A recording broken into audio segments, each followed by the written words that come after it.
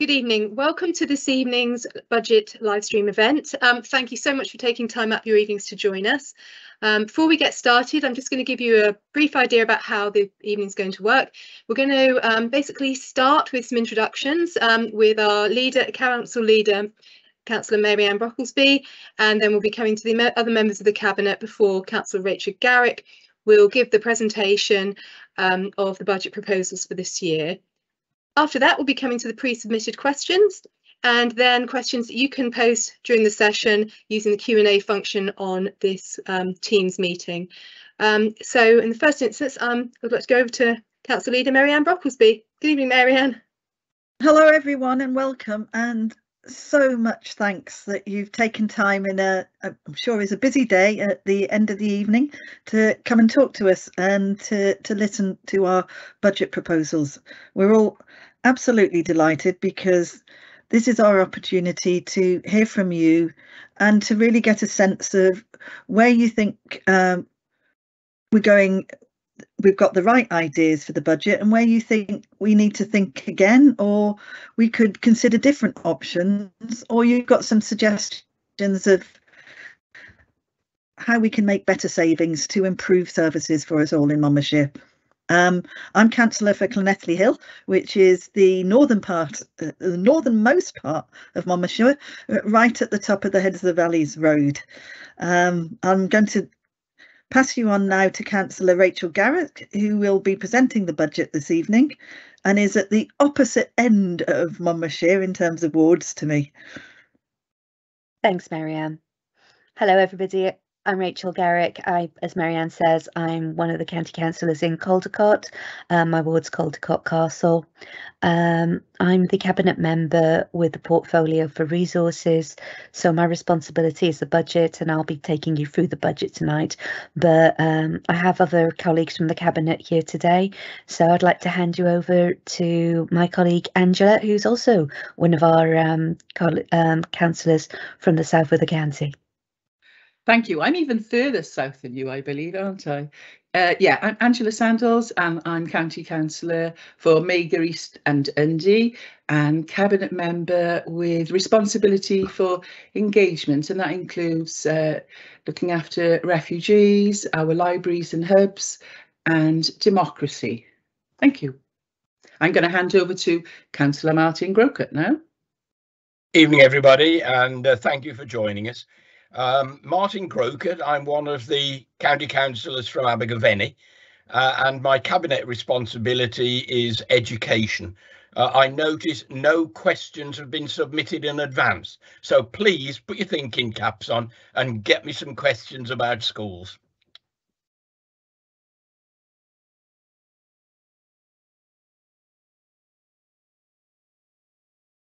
Shall we go to the presentation then? Yeah, it's a re hand over to Rachel now to get talk us through the presentation. Thanks, Rachel. Fabulous. So I'm here to talk to everybody tonight about the budget. And if we're going to talk about the budget, we need to talk about the context of that budget as well. So I keep using the word unprecedented. 2022 has been an unprecedented year for us. It's been really difficult. We've seen inflation, which is at a rate that we've not seen in the history of Monmouthshire County Council, and the country hasn't seen since the 1970s. So we've got Brexit causing increases in material prices, in food prices. We've had a pandemic which has, has had an impact on the economy and also on the level of pressure on our um, council services in terms of things like care and homelessness. We've seen OPEC Plus um, reducing oil production in early 2022, which drove up fuel prices and then also gas prices. And then we've seen your war in the Ukraine that's meant that gas prices have increased even further. On top of that, we've got a spiraling job market, which means that it's much more difficult for us to recruit and retain employees. So it's really, really challenging environment. And I think with that, do we, we don't have the um, presentation up yet, do we? No, Rach, if you can, if you can, I think we're going to need you to share your screen, unfortunately. Sorry. Uh, okay, no worries. Let me just click a few buttons.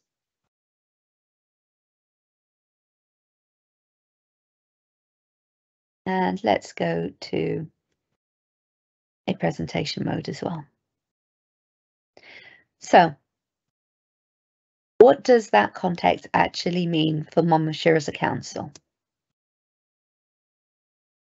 Oh, I'm awfully sorry. I'm pressing buttons all over the place. What it actually means for us is we've got cost pressures of 26 million pounds for our next financial year. That means to keep providing the services that we've provided this year into next financial year, it's going to cost an additional 26 million pounds on top of what we paid in 2022. So those cost pressures built up of about three, or four things. Just the increase in the cost of services alone, that's 11.9 million pounds. We all know that energy costs have absolutely skyrocketed, and those energy costs for the council look like they're going to be about 4.5 million pounds for 2023 to 2024. And then we've got pay awards.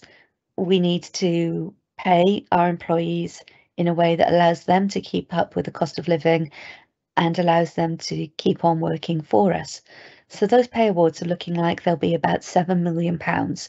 Some of that will be hangover from the settlement from 2022, and some of them that will be from the new settlement in 2023.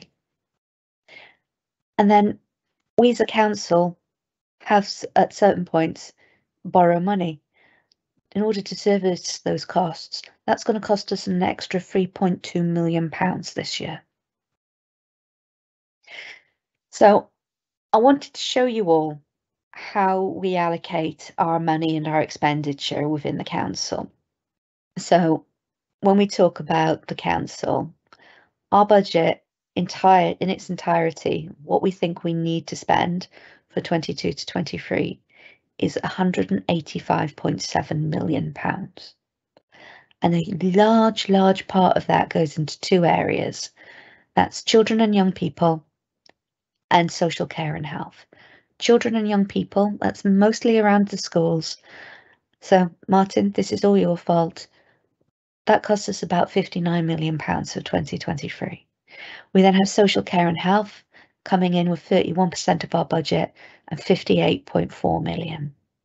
You'll see that there's quite a significant drop down then as we go to the rest of our services and commitments and 13% of that is on our front facing services in community and places. We then have a whole host of other smaller allocations. So we've got the precepts and levies, council tax reduction scheme, borrowing costs, resources, that's our staff, Mon Life, that's our um, leisure centres and cultural pieces, democracy, planning and people, then policy and scrutiny and customer service, and finally, our corporate management and insurance. And that all adds up to 185.7 million pounds.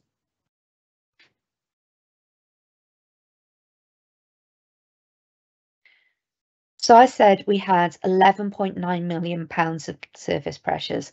That's 11.9 million pounds increase in the cost of the services that we provide as a council. The largest part of that comes from children's social care, which is 4.4 million pounds. That's a really volatile area that can go up and down very, very quickly with a lot of pressure, particularly around high needs placements. And that's a really large part of our service pressures. And if you follow the council budget, you'll have noticed that our shortfall in 2022 has had a large part of its driver out of children's social care. We also have a big driver from adult social care, which is 1.8 million pounds. That's with people needing increased care needs. We have an aging population, so we have a big commitment on adult social care, and we have a lot more um, requirements with people coming out of COVID, who people who are in the care system or going into the care system with an increased needs after um, experiencing the disease. We also need to pay our employees a real living wage. So That's a wage that allows our employees to work for us and be able to afford to live their lives. To keep up with what is the recommended real living wage, that will cost us an extra £1 million in the next year. During the pandemic, Welsh Government brought out new legislation to force policy changes across the country to ensure that people who become homeless are looked after appropriately and nobody is left out on the streets. Councils haven't always been the best at doing that, and we've calculated that it's going to cost us an extra 1.9 million pounds to service that in the next financial year. A large part of that is going to be going into emergent immediate needs where people are being placed into temporary accommodation. We also see increases of about £600,000 for children with additional learning needs. Those are um, additional children coming into the system and a wider range of um, needs being found within the county over a wider range of ages. Recycling and waste are looking at an increase of £200,000 and that's associated with things like haulage costs. So where it, fuel prices have gone up, it's costing a lot more for us to do that. There's also increases in treatment costs and the amount of income that we get from our waste streams does look like it's going to be lower this year we spend a lot of money on passenger transport and fleet, and a lot of that is associated with home to school transport, where we're seeing an increased need in that, and things such as fleet costs are going up again through maintenance costs, maintenance costs, and again through fuel. That's about six hundred thousand pounds additional. We charge our residents for discretionary services that we provide for the council, and we're anticipating that we have a shortfall in those incomes of around £800,000 this year. We also expect to need to increase our community safety to the tune of an additional £100,000. That said, we know what our pressures are, but we need to deliver a budget which is balanced and correct for our county. So when we look at this, cost of our delivering our services have increased roughly in line with inflation at 14%. So that's about 26.6 million pounds. We've also had income increases. So we get a government grant from Welsh Government. We also raise money through council tax and through discretionary charges for our residents. That's given us about 15.7 million or about 7.5%. Now, as a council, we hold relatively low reserves. We hold third lowest reserves in the entirety of Wales.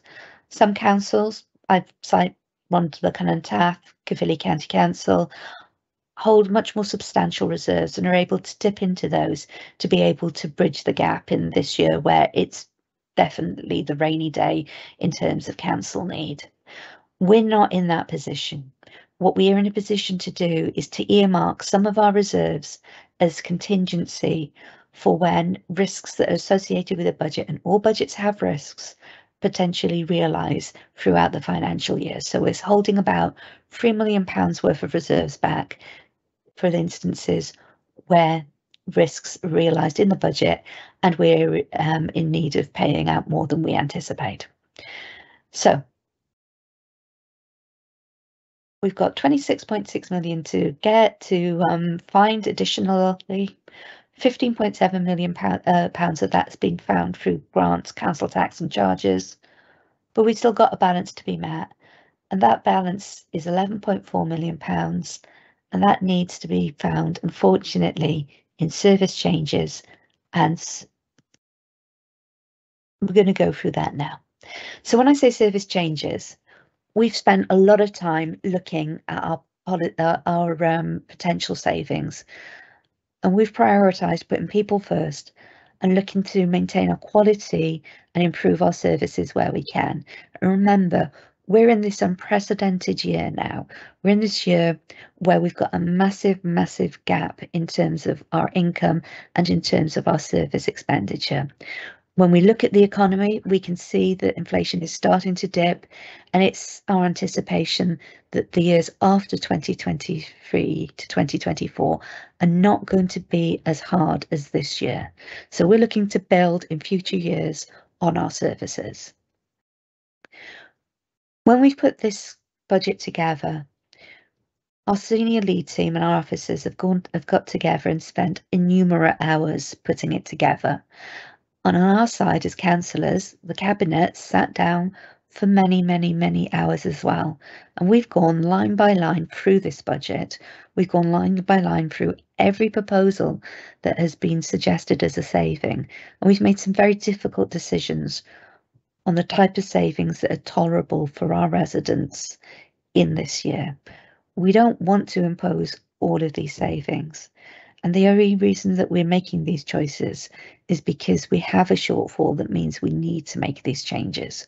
We've tried to make sure that these savings are the ones that are the most tolerable for our communities and our residents. So let's talk about what these savings are. So going back to that pie chart earlier, schools, children and young people, this is Martin's area. It comes in with a 5% net increase on our school budgets.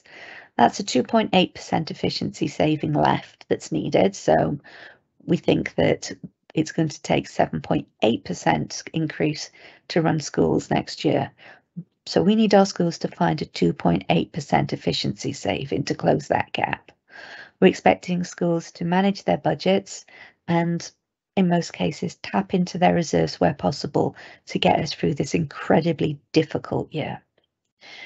But we still have a gap.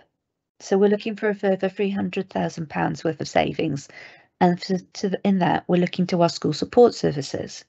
So we are the last council in Gwent that fully subsidise Gwent's music service. We're looking to align with other councils and reduce that subsidy at this point. That means that what we might see in reality is some reduced class-based provision and parents will be asked by Gwent Music Service to increase the payments that they make for their children's individual instrument lessons. However, we really appreciate that music is really key to our culture in Wales. It's a big part of our heritage and we're keeping a small fund together to allow pupils from low income families to maintain their individuals' music lessons. We provide breakfasts across schools for any child at primary level that needs or wants a breakfast in the mornings. As part of that, we also provide subsidised childcare in breakfast clubs. At the moment, that's a charge of £1 per session. Evening sessions can vary from about six to seven to eight pounds, but childcare for the morning sessions are subsidised and it allows a wraparound childcare for many parents and carers to get to work. We're in a position where we feel we need to ask for an increase in those charges and we're looking to set that at a level of £2 per session. We're also looking to reduce staffing levels in our school psychology service, mostly around positions that we've been unable to fit to fill recently. But we're going to be following a rigorous grant funding, funding strategy in order to try and plug that gap. And we're also looking at using that funding strategy to plug gaps in support services for children with additional learning needs. So let's move on to uh, my um, cabinet um, colleague Tudor's area. That's social care. Uh, that's our social care budget. And again, that was the second massive part of that pie chart at 31%. We're increasing that by 7% in the next year. So we'll be increasing our adult social care budget by £1 million. What we're looking to do there is review our in-house provision and our um, outsourced provision and to look at making changes that make cost effective sense for our council. We're also looking at reviewing care packages to make sure that they're fit for purpose. And we're also looking at preventative schemes such as fall prevention. So we're focusing on make on preventing people getting into a position where they need to enter the care system in life. We hope we're expecting that that brings us savings of two million pounds. I mentioned earlier that one of our major pressures is children's services, and that was a 4.4 million increased pressure. So we're looking to increase children's services by 3.4 millions. but we still have a further gap there. So we're looking to make savings of 1.4 million in our resources gap there. And again, we're looking at reviewing the way our decisions and the way we go about particularly high cost placements and again, our outsourcing and our insourcing. So we're looking at giving a much more cost effective service, which we believe there's a lot of leeway to do in children's services. We still have some funding gaps to um, go through here. So we're also looking to remodel our learning disability and mental health teams and focus on local provision for young people with learning disabilities. A lot of that remodeling is going is along the lines of looking at the supervisory capacities of those teams and reducing capacity there. Our savings um, proposed there come to £300,000. Okay, um, this is um, my cabinet colleague Sarah's area. She sent our apologies tonight. She would love to be here, but she's at a parents' evening with one of her children. So we believe that our leisure centres and our cultural services are a key part of our community. We can't understate the importance of leisure centres in the well-being, both mental and physical, for our residents and our communities. And we're committed to keeping those services open. We're increasing our budget for MonLife by 22% as a result, but we still need to make £600,000 worth of savings. That will impact on some staffing levels and opening hours. When we talk about opening hours, we're looking at reviewing when people use our services, what are the quiet times and making contractions around the quiet times in order to be able to keep those services open and keep them open at the times when people use them the most to drive some efficiency. You might be familiar with our Nature Isn't Neat program and our No Mow May approach. So we're looking to increase that and further reduce our mowing schedule across the county. That has the benefits of reducing costs for the council and it will increase biodiversity, which is incredibly important during our climate crisis. We're also looking to save over 1.3 million pounds throughout the council. There's a drive to decarbonise the council by three quarters of a million pounds, looking at carbon saving efficiencies and also looking at increases in our income from our um, solar farm estate as well. Further reductions there are a year's reduction in our spend on maintenance of our buildings and vehicles. We're going in terms of buildings to um, go to essential maintenance only, and we're looking at our vehicle maintenance schedules, which are much more above what the minimum requirements are, and looking to bring them down to a sensible level. We're looking to reduce running costs on our energy consumption, which I talked about through decarbonisation, and also on reducing our fleet and the mileage that our drivers use. We're also looking to rationalise our property estate to make sure that we use the buildings that we use appropriately and looking to see where we may not be using buildings to the same level that we should do and looking at what we should do with those buildings. So that's service redesign we also should need to talk about the discretionary fees and charges that we charge. We're going to be asking our residents to pay a fairer price for the services that we provide. So that means where costs have increased or where service has been subsidised, we'll be looking to bring in additional um, charges on those. So that's got a um, income estimation of 1.4 million pounds. Just like our leisure centres, we're committed to keeping our community hubs and libraries open.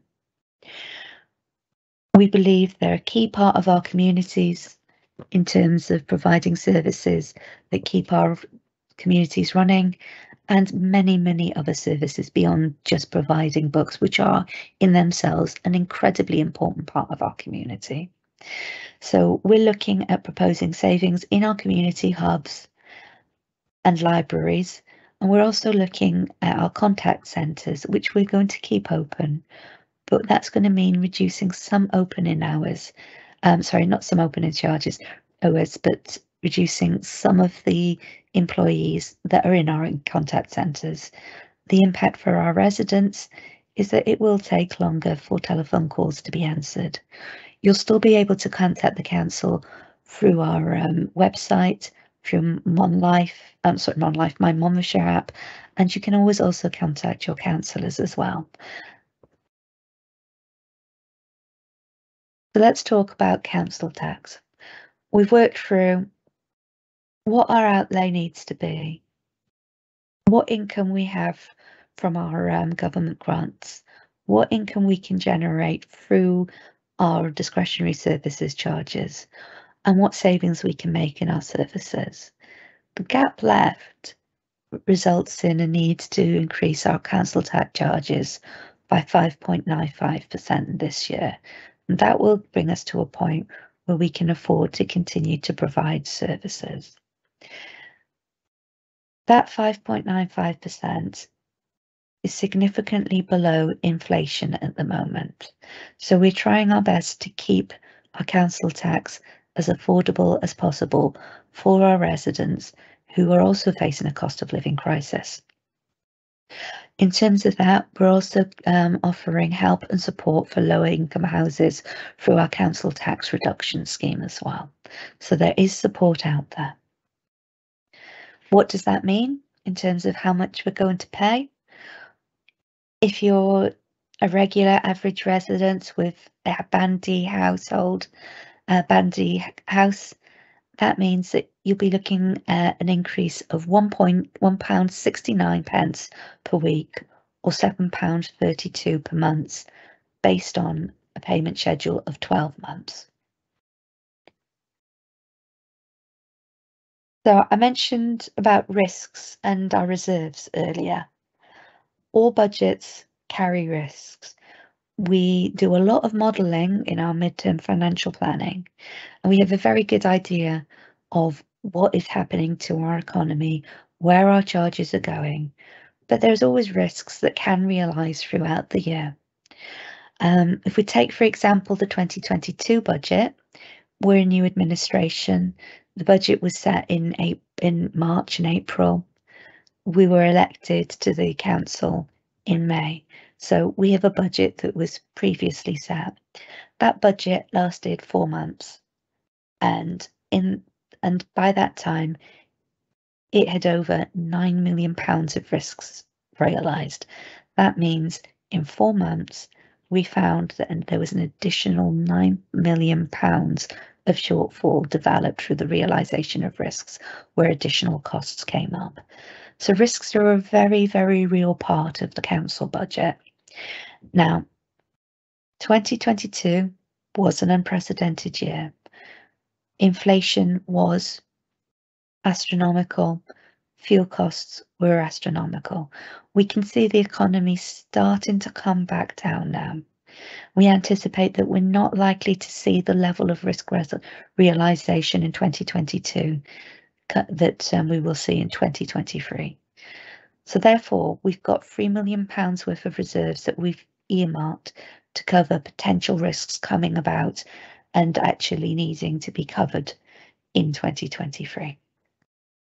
We also have a capital programme budget, which you know oversees our maintenance and enhancement of our roads, roads, our schools, our leisure centres, our farms, and much, much more. They're a really important part of the services that we deliver or helping deliver services to our county. Because they're an important part of that, we're maintaining our capital services budget this year. So we'll be continuing to support our council um, priorities, and that goes along with our draft community and corporate plan. We've also got two main significant pieces of outlay in our capital programme for um, 2023 and 2024. And those are the commitment to build a new school in Abergavenny for ages 3 to 19, and also and remember, I've talked a lot about social care as well here. We're building a new care home in Crick Road um, down in um, Monmouthshire this year. So that is an overview of this year's proposed budget. We're currently in the middle of consultation and Mary Ann, our leader, was very clear that we're doing this because we genuinely want to talk to our community about these proposals. It's an incredibly important year with some incredibly difficult challenges. And we really do believe that our residents' residents' voices are important to this and that they your views should be listened to. So this is our proposed budget. We're communicating with this and consulting on this throughout the county. We've been all across the county in the last few weeks and we'll continue to do that and we'll be in Abergavenny next week. Um, we've got a budget page on the council website which you can go to. You can look at the budget proposals in much more depth if you'd like to. And while you're there, please take the time to fill in our online survey. In terms of due process, we have council scrutinies meetings, which we've been going through with our proposals, where we've been getting feedback and answering difficult questions from our councillors throughout the county, who also have an interest in making sure that this budget is the right budget for the We'll be looking to send our council tax, um, set our council tax and bring our final budget after consultation to a full county council meeting on the 2nd of March, which you are all welcome to attend and watch as um, residents of the county. And at that point, you'll be happy to know that I'm going to stop talking and I think hand back to Jan in the first place to um, manage questions that we've had submitted. Thank you very much. Thank you, Rachel. That's great. Um, we've got a number of pre-submitted questions that um, I will read out before we get to the questions submitted live during the session. Um, the first one is from Denise. Um, she's asking um, about Mon Life and the leisure centres. Um, she says it's quite a long question, so I'm going to abbreviate it. So apologies for that, but hopefully I, I will get the crux of it. She's very um, worried about the idea of cutting funding to the leisure centres. She believes that um, we should be investing more in leisure centres, not less. Restricting opening times is going to directly impact those who cannot use the leisure centre during normal working hours.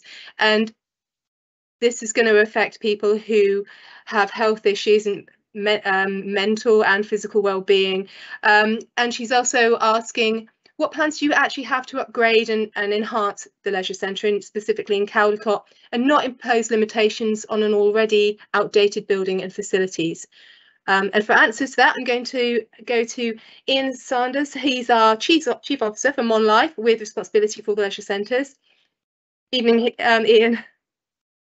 Good evening. Thank you. Thanks for the question, Denise. Um, as you as you've heard there, um, a lot of a lot of different difficult decisions being made. And obviously one of the ones that most impacts um, Mon Life is the ability to, to keep, continue with the service. But thankfully, I think this this budget does actually bring what is, um, you know, some some investment into the leisure services. In particular, this budget does give some uplift to help us with the huge energy costs that we've been seeing. So, you know, there are some some positives in that, and obviously it does recognise the value of leisure services and and also shows that MCC is prioritising as an important preventative and value service. So, you know, from from where I know you, your your question is around um, what it is the proposals we are putting forward. The officers are looking now and actively looking at data and looking to explore a reduction in opening hours, potentially around this, the long summer evenings. And looking back from data um, from previous years, obviously before COVID and then after COVID and the recovery. You know, our summer our summer summer evenings in the swimming pool in particular are, are quiet. So the the sort of initial draft proposals is that we're we're taking an hour off each leisure each leisure site in the late summer evenings. Um, and obviously during the day in the summer, we've got huge things going on. It's really you know positive for the leisure centres over the summer with exercise referral, fitness classes, and lots of children's and sport play um, during the day. So we wouldn't be cutting any of that. And obviously, the very nature of the, the holidays means that the um, the schools aren't swimming, so we can readjust the programme to potentially look and make sure that you have got some opportunities to swim in the evening. Obviously, not when you'd prefer to swim, because I think you're hinting that you swim after nine nine o'clock. But um, you know, we'll do all we can and I would just encourage you to get in touch with the, the leisure centre manager and myself, um, and we can we can really try and help and look at your specific needs. But the data is telling us that that is the time when you know th there is less demand, and you know, it would be remiss of us to not look at that in the in view line of the savings that the, the whole council is having to make. You're aware, because um, you also asked about investment, um, and you're aware we, you know, we haven't we haven't sort of been successful with the with the um, funding for LUF.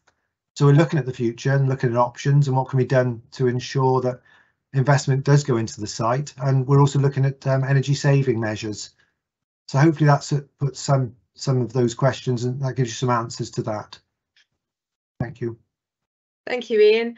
Um, we've got one further comment on on that before you go in. Um, the um, the lady said, why is, is there a reason why they don't reduce the heating in the pools from a very hot 29 to 27 or 27? Is, is there a reason why temperature is maintained at a certain level? So, so when you get below 28, it becomes very, it does become cold for some, some of the population. Obviously, our pools, you know, we're looking around 28, 28.5 normally. It, this is quite a complex uh, question to answer, and it does come into the investment into pool covers as well, which we're looking at as a, another part of the budget and some good news. But if we if we maintain it much below 28, you start getting to difficulties with certainly our vulnerable populations and our younger children, especially babies. So we do try and maintain a reasonable level. Obviously, the more advanced fitness swimmers could could deal with a colder temperature, but um, just to just to give you a bit of technical um, feedback on that, we normally try and keep it around 28, 28.5. Okay. Thank you, Ian. I think that there, there's a, a, lot of questions coming in about that. Um, I just want to re reassure the um, questioner that we have we've got quite a lot of other questions to get through, but all your comments and, que and questions relating to the Leisure Centre will be passed on to Ian and the team to answer. Um, as the other thing I would say is quite a lot of the questions, if we don't get all of them answered tonight, we will be uploading them onto the website, so you'll be able to have a look at the answers there as well. Um, next question um, is I'm going to direct to our council leader, Mary Ann Brocklesby, if I may. Um, this is a question from Kyle, and he is asking, how will the budget change if the economy either improves or declines? Hello, Kyle, if you're online. Thanks for asking the question. Um, as, as Rachel said earlier, council set budgets every year. Uh, there's nothing new about that. Um, this year is new and challenging for the the level of shortfall that we have. But every year, a council sets a budget which they follow as best as they can. But you'll know if you've got a household budget, you can set it for a month, but it will move up and down depending on price changes or choices or heating and so forth. So there will always be shifts in what the budget looks like as it starts to be implemented month by month. So the council last year, before elections, they set a budget which they based on similar forecasts that we're making and what they expected to get from all from council tax from welsh government from fees and charges etc but the situation as you know has changed over that time. So despite setting a budget that was at the point of setting it just what we thought would cover all our costs we weren't able to do that. So we were looking at for this year a shortfall of 9 million. So if you think about that, looking forward, I think we all we all want the um, the economy to improve. As individuals and a council, um, we're all very aware. Um, I'll point you to the news this morning where it, we're expecting to go into a recession this year. Um, in the latest forecast. So we're all very aware that we're unlikely, but you never know, to have a um, a huge turnaround in the economy this year. So we can sit back and relax and just see the money rolling in because the costs have gone down, because our mm. government at UK level or Welsh government can find more money for us. That's unlikely to happen, but if it did, then we would adjust accordingly and we would set it against our priorities that are directed by our community and corporate plan. And those are priorities as uh, Rachel laid out in this budget. They will remain the same. They're social care, education, um, affordable housing, making sure that our leisure centres are freely open uh, for everyone, Ma making sure that we're um, doing what we need to do for our roads, for keeping us safe, etc. So the short answer is we're always adjusting month by month and we're always looking in terms of what the economy is looking like, how we can make savings, but more importantly, how we can, within the cut of our budget, transform services and the way that we deliver it so we're more effective, we're more efficient, we're wise with our money, and the quality remains the same, if not better.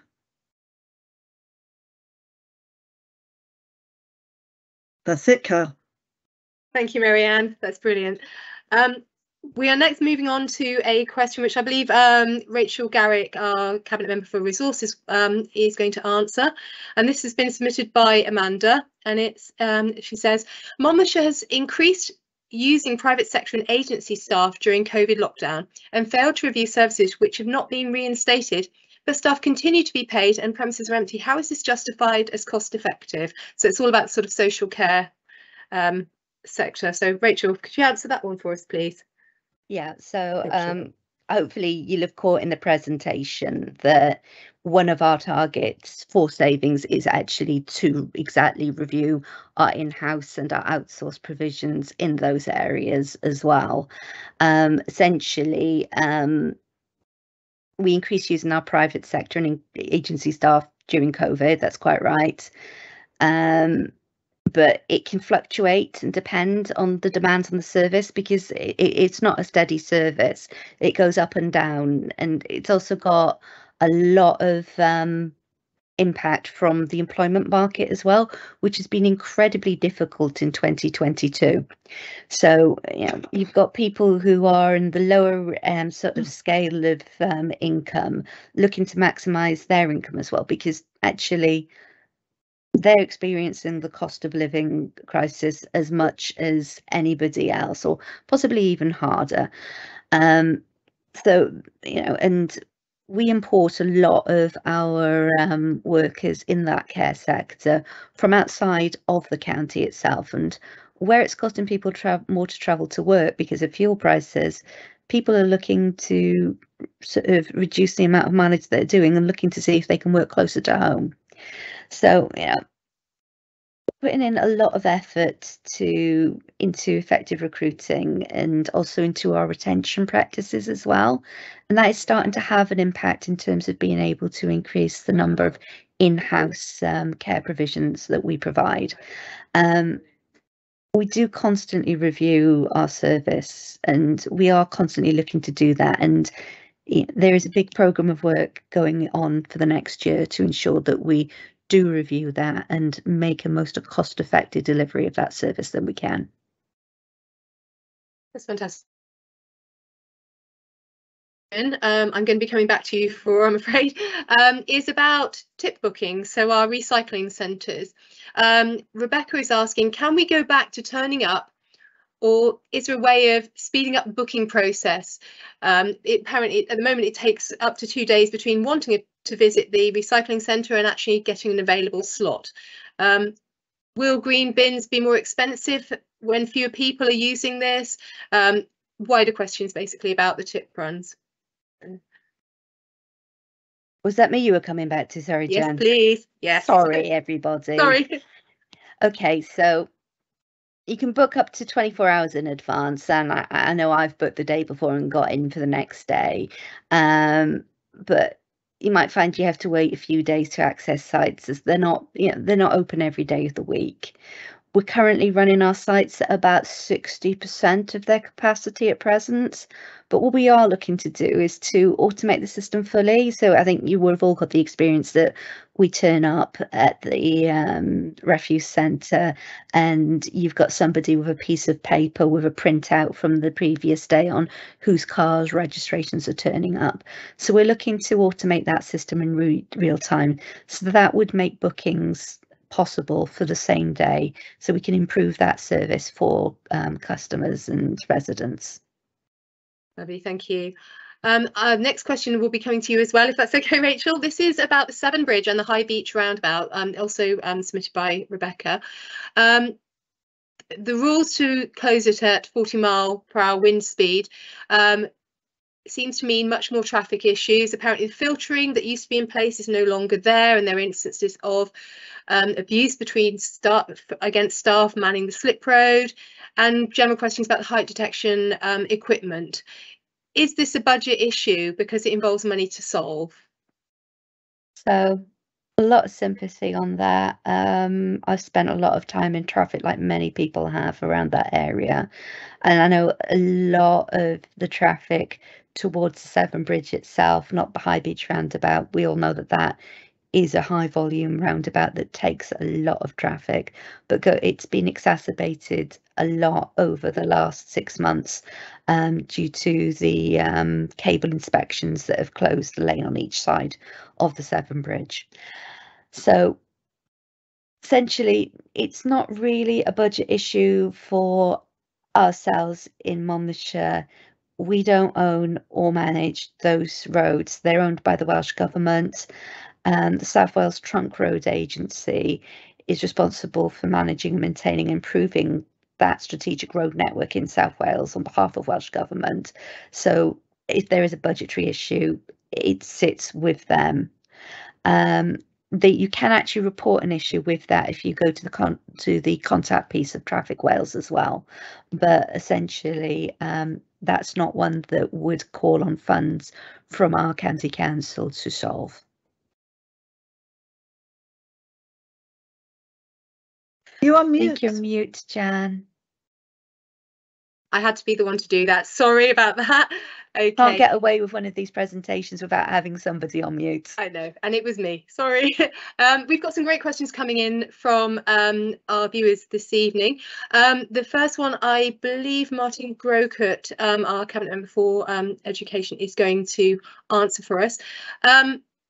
It is what consideration or actions is the council taking to work with other local authorities to share resources, develop capacity across the local authority borders? Martin, could you answer that one for us, please? Yes, certainly. Um. I think I'm picking this one up because quite often these collaborative services are around education or young people. Uh, and I think people would be surprised at how much collaboration there is already between the authorities in southeast Wales. I'll give you a few examples. Certainly in my area in, in education, huge uh, collaboration on guaranteeing quality of education in our schools through the education uh, assessment service covers the whole of southeast wales more um, example of that might be SenCom, the Special Educational Needs Communication Service, which provides uh, very specialist help for youngsters with specific communication difficulties that would be hard for one small authority to cover on its own. Uh, so um, looking to the wider council, there are lots of examples. The Greater Gwent Pension Fund that will look after us all in our dotage is, is one that most staff at County Hall would be very interested in. Um, there are then things like the Shared Benefits and Revenue Service, which looks after um, making sure that people get their full entitlements when they're claiming things like universal benefit. Um, there is the Strategic Procurement Service, which enables us alongside Torfaen and Cardiff to purchase in greater bulk. So there, there are large areas where collaboration is already firmly in place. I think in the six years I've been a councillor, I've seen the movement towards that increasing uh, because it provides that uh, greater efficiency in size, I think. Um, so lots of examples there. At the same time, of course, Monmouthshire is very anxious to get the the best possible cost efficient services but where it, it's sensible to collaborate with neighbouring authorities and there is shared expertise that we can use then certainly we do so Thank you, Martin. Um, that's great. Um, we've got um, two other questions. So we've got um, what does a fairer price for services actually mean? I think probably Rachel is, is best positioned to answer this. and a secondary level to that question, um, can you provide detail of the kind of services that residents will see an increase in charges, please? Okay, so we talk about a fair price. What we mean is paying a price approaching the cost that it is that it costs to provide the service and essentially acknowledging that prices have increased to provide the service and therefore some of those prices we do need to pass on through the fees themselves. So you will see an increase in prices. Um, so in terms of those fees, it's a vast array. I often use car parking charges. Garden waste is a particular hot topic at, at the moment, but we're also talking about school meals, building control fee, fees, um, fees that you when you put in planning permission, um, cemetery charges, registrar income. It's a really, really broad spectrum of discretionary services and other fees that on um, services that we provide. Thank you, Rachel. That's great. Um, the next question, um, I think we're going to Councillor Groucutt for this one. Um, how much money is spent on out of county placements for children and have these costs been scrutinised carefully? I'll make a start on this and then I'll call in Jane Rogers, who's one of our senior officers. Um, I can reassure uh, whoever asked this question that it is incredibly difficult to put a, a, a child or a young person into an out of county placement. Uh, and, and in this day and age, every effort goes into retaining a child in their local community with their family and friends and so on where wherever possible. But but the reason I'd like to start on on this answer is that in fact I spent many years uh, as an inspector for Ofsted, looking at some of these very very specialist schools, and just to give you a little flavour of why we would not be able to accommodate some of these children in our own local schools. One example was at, at, at the um, Royal School for the Blind in Exeter, where I saw two two members of staff teach a child who was deaf and blind how to swim. Now, that was one of the most remarkable things I've ever seen in my whole life. I can also remember vividly going into a school where a child was using an an electronic system attached to a computer because the only way she could communicate was by blinking. She had no speech and virtually no movement. And yet she was able to learn and I was able to assess the quality of learning as if she was in any normal school in her mainstream locality. So what I would say before I hand on to Jane is that I think as a local authority, we have got out of common humanity to provide the best education that we can. In education terms, that means that we will spend in any one year about £3 million on helping youngsters to learn when if they were just left to the provision we could make, we would not be able to begin to meet those needs. Uh, Jane, would you like to come in and and and uh, give your professional expertise here? Thanks. Thank you, Councillor Groucutt. Um, uh, from a children's services point of view, uh, we do have a number of children who are placed in out of county um, placements. They are on average more expensive than our in-house placements, but as um, Councillor Groucutt has explained, sometimes these are uh, children with uh, complex needs um, who, who require sometimes quite specialist placements in terms of the the level of oversight we have of of those placements, it's um, fairly robust. Uh, the social worker, when they are setting up that placement, looks carefully at uh, the child's needs and does their best to really match the child's needs to to the placement that we're procuring. there's a transparent cost template that we use when we are um, commissioning that service. Once the child's in placement, the, the social worker has regular contact with that child, seeing them on a on a regular basis, uh, seeing them alone and outside of the placement, so that there's, if there's any concerns that the child would feel reluctant to share, uh, you know, at their home, that they have that that extra that that opportunity to do so with their social worker. Um, we also have separate from that a contract monitoring so that the uh, the sort of value for money aspect of the placement is is looked into on a, on a routine basis as well. And over and above that, um, any any services that um, are procured for children are subject to um, Care and Wales Inspectorate um, oversight uh, as well. So thank you. Thank you, Jane. Um, we've got one more question, um, which I'm going to go back to Rachel for, if I may. Um, what has happened to the retail properties that Monmouthshire County Council previously uh, purchased? Are they making a profit or a loss? What's the situation with that, please? Okay, so that refers to the retail park in Newport that was purchased um, in the last term of um, the previous council. Um, it's um, if you frequent um, Newport at all, um, it's the part which holds Cineworld, the McDonald's, the Harvester, etc.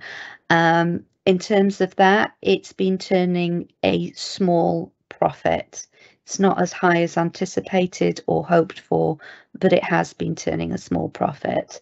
Um, we're very aware that the economy is going into a recession. Um, we're very aware that Cineworld is, um, has been in administration in the United States and is looking at reviewing its um, sort of um, asset list within the UK. We're also aware that one of the other major um, providers, Enflate, recently closed its doors. So we're keeping a watching brief on that, but it has today given us a small profit. Thank you, Rachel. Um, that is all the questions we all uh, we might have some more coming in. I think that's pretty much all the questions we have at the time. Um, Mary Ann, did you want to um, have a few words to round the session up? Yes, thank you so much, everyone. These were really, really interesting and useful questions. Um, I'm going to take them away, reflect on what you've asked them, relook at the budget when we present it on March the 2nd and discuss it with the council. Um, because what we want to do is to make sure that we are listening to you, but not just listening, that we are responding to the comments as they come through. And I would ask you, if you haven't already done so, to go online and uh, fill in the survey um, that we've got up there. We'll try and put a link somewhere, won't we, Jan? Um, because it's already in want, the chat. Yeah. Fantastic. Because we, what we want um, to hear from you on the survey is what you think we've got right, what you think we can got should do differently, and also any suggestions you've got for where we can be more efficient, that we can use the money wisely, um, but improve the quality of the services that we reach out for you. We'd really like to hear from you. And thank you so much. I really appreciate you all coming tonight.